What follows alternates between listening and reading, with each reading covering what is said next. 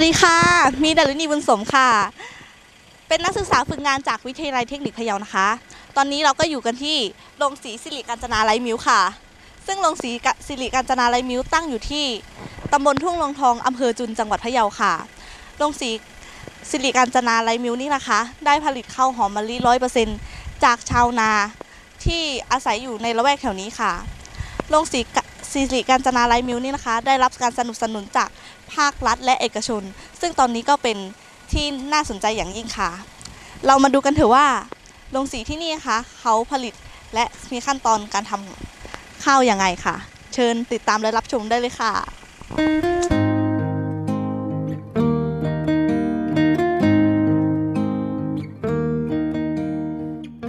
วันนี้ดิฉันขอพาท่านผู้ชมไปพบกับแหล่งผลิตข้าวหอมมะลิรายใหญ่ ที่โรงสีข้าวสิริกัญจนา Rice Mill ซึ่งตั้งอยู่เลขที่ 199 หมู่ 8 ตำบลทุ่งรวงทองอำเภอจุนจังหวัดพะเยาค่ะ ขอบอกได้เลยนะคะว่าโรงสีแห่งนี้ใหญ่โตมโหฬารมาก ที่นี่มีการบรรจุข้าวหอมมะลิขาย เป็นสินค้าโอท็อปที่เด่นของจังหวัดพะเยาเลยทีเดียวค่ะ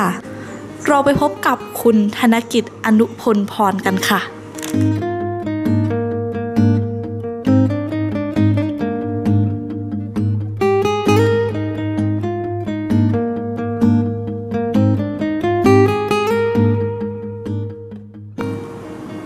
เริ่มต้นโครงการ เราก็ได้เห็นศักยภาพของพื้นที่ก่อน ในตำบลทุ่งลงทองเนี่ย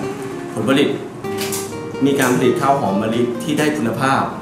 เราก็เลยมารวมกับภาคราชการส่วนจังหวัด และก็ภาคเกษตรกรในพื้นที่ แล้วก็ภาคเอกชน ซึ่งนำโดยของการค้าแห่งประเทศไทย แล้วก็ภาคโรงสีของเราที่เป็นภาคเอกชน โครงการ วัตถุประสงค์ของโครงการ ในโครงการเนี่ยเราก็ ให้เกษตรกรมาเข้าร่วมโครงการกันเราก่อน ครับผมสมัครเข้าร่วมโครงการแล้วเราก็กำหนดพื้นที่กำหนดพื้นที่การเพาะปลูกครับ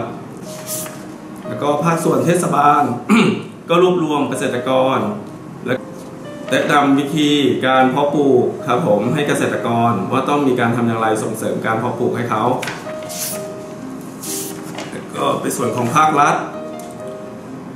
ภาครัฐก็ให้ความรู้ แล้วก็ให้ข้าวที่มีคุณภาพกับให้เกษตรเอาพันธุ์ข้าวที่มีคุณภาพให้เกษตรกรเนี่ยเพาะปลูกโดยเลือกพันธุ์ข้าวกข15 ของศูนย์เพาะพันธุ์พืชพะเยา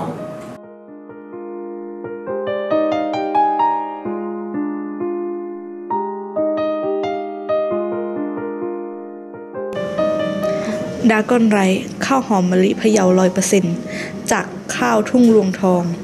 ข้าวหอมมะลิทุ่งรวงทอง คือข้าวที่มีชื่อเสียงโด่งดังที่สุดในประเทศไทย ด้วยความหอมนุ่ม และเป็นสิ่งที่เป็นเอกลักษณ์ รู้จักกันทั่วโลก ข้าวหอมมะลิกข15 เป็นข้าวพันธุ์พื้นเมืองของคนไทย ปลูกกันแพร่หลายในตำบลทุ่งรวงทองอำเภอจุนจังหวัดพะเยา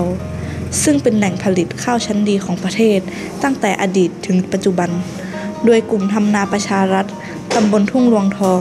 ที่ได้พัฒนาบำรุง ดูแลและคัดสรรพิเศษจากข้าวทุ่งรวงทอง พื้นที่อำเภอจุนจังหวัดพะเยา เป็นแหล่งผลิตข้าวหอมมะลิที่ลือเรื่องไปทั่วประเทศ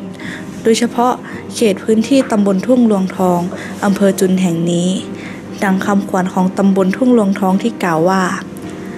พระธาตุม่อนหินขาวเป็นสง่าน้ำพริกขารสดี ประเพณีงดงาม ลือนามข้าวหอมมะลิ ขั้นตอนในการผลิตข้าวนะครับ อันดับแรกเราก็ซื้อข้าวเปลือกจากเกษตรกรมาก่อนที่ความชื้น โดยประมาณก็อยู่ที่ประมาณ 30อะครับผมแล้วเราก็มาเข้าตู้อบเพื่อจะลดความชื้นของข้าวเปลือก ก่อนที่จะเข้าสีครับ เมื่อลดความชื้นของข้าวเปลือกได้แล้ว เราก็จะเข้าเครื่องกระเทาะ กระเทาะให้เป็นข้าวกล้อง กระเทาะเปลือกออก แล้วก็เข้าเครื่องขัดสี อ่าครับผมคัดแยกข้าวต่อไปครับผม